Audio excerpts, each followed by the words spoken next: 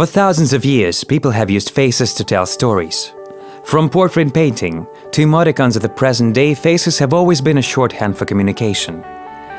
For the Sochi 2014 Winter Olympic Games, MegaFon launched the campaign Create Your Own Olympic History. It encouraged people to make the Olympics a very personal experience with social networks and MegaFon's mobile internet.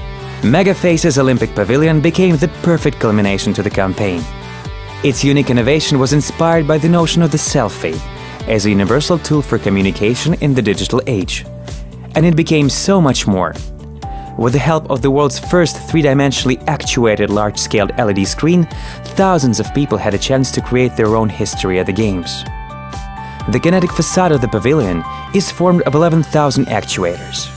Each actuator carried their tip a translucent sphere that contains an RGB LED light. Each actuator acts as one pixel within the entire facade. It extends up to 2 meters to transform the surface in 3 dimensions. The resulting portraits appear in the side of the building as big as 8 by 6 meters, a magnification of 3500%. To create a selfie, the visitors simply scan their faces in one of the seven instant 3D photo booths inside of the pavilion.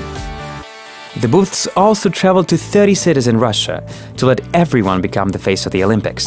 And live online video stream of the facade with the link to the personalized 20-second video made sure that no face will be missed.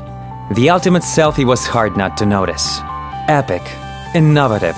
The Megafaces Pavilion took social media by storm, and worldwide television and press coverage resulted in over $12 million of earned media.